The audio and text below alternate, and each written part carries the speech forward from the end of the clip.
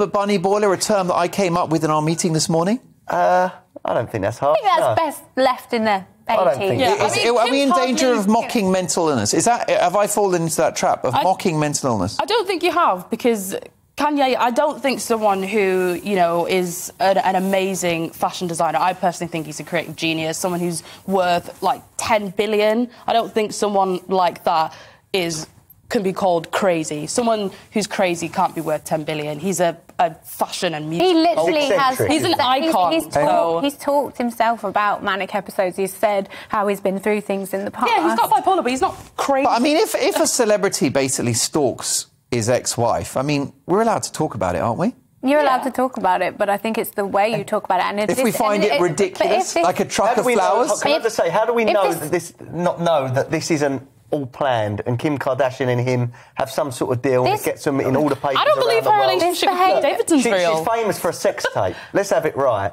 Right, she's clever as well. She could have Well, rung listen, him up and said, can I just this." say that a lot No, of us, wait, a lot of us got into showbiz with a sex tape. Right.